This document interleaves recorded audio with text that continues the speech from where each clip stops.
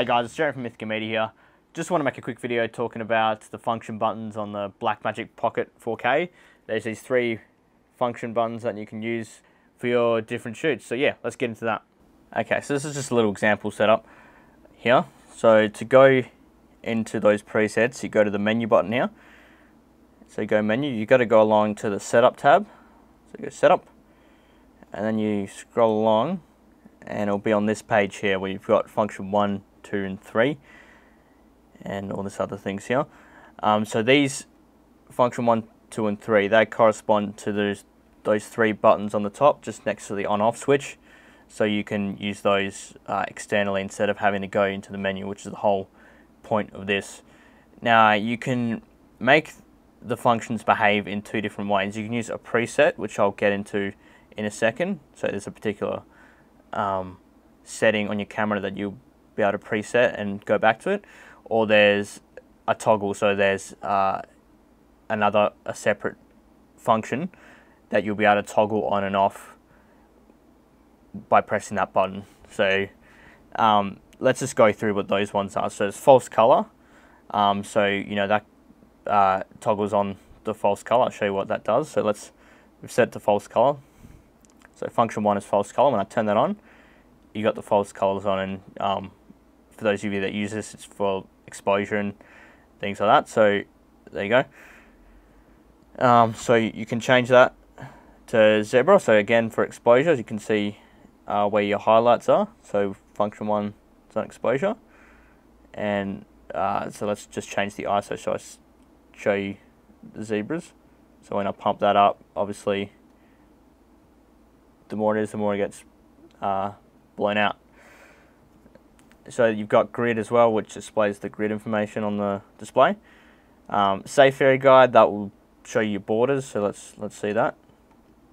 So you see those borders come up, and obviously uh, you can change those here, but I won't get into too much detail about that. Um, off-speed recording, so that's changing your your frame rates to go to higher frame rates. Um, you have to preset that in a different window uh, back in the record window, but that's where it is. So yeah, that off-speed recording is not too useful because you've already got the high frame rate button there. Um, you've got your OIS, that's your, your um, uh, image stabilization. Uh, clean feed, so that's uh, useful if you've got an external monitor. Um, and by the way, these parameters can actually be applied to say just like assuming you've got an external monitor that can be applied either just to the monitor or to this. So that's really handy as well. So if you've got a like a director's monitor and they don't want to see the information that a DP for instance wants to see you can make it go only to the monitor. And that's why clean feed is there too. Um, same thing with the display LUT. That's using it for if you've got the inbuilt LUT feature and you want to see what your LUT's going to look like for the image. Um, again, you can use it just for the monitor or just for this LCD screen. Um, so with this one, sort of difficult to see because it's a little blown out, but let's, let me change the exposure a bit so we can see the background. And then you can see it a little better. Yep, so just pressing this button turns the LUT on and off. And obviously, when you go into the LUT tab, you can change whatever LUT that is, but whichever LUT you've set, you'll be able to turn it on and off with that function button, which is really cool. Um, frame guides, again, focus assist, so your um, focus peaking, things like that.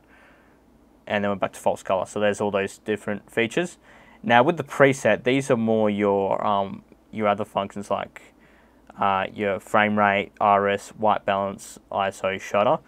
Um, I was a little disappointed. It's not like the GH4 where you can um, set all of those settings on a particular function, you can only change one of these features. So let's say, um, for instance, I was shooting uh, something on a day and I needed to shoot uh, both outdoor and indoor, and I wanted my white balance to be uh, two different settings. I could do that. So we go white balance.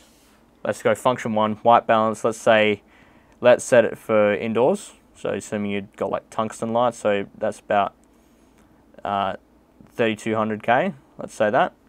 so we can save that. You can also change the tint by the way.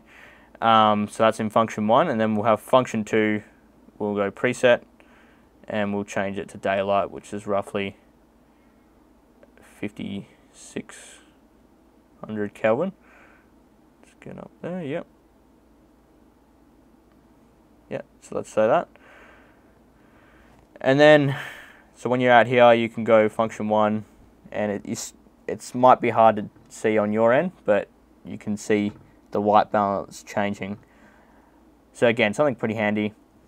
Um, you can even do it for iris as well.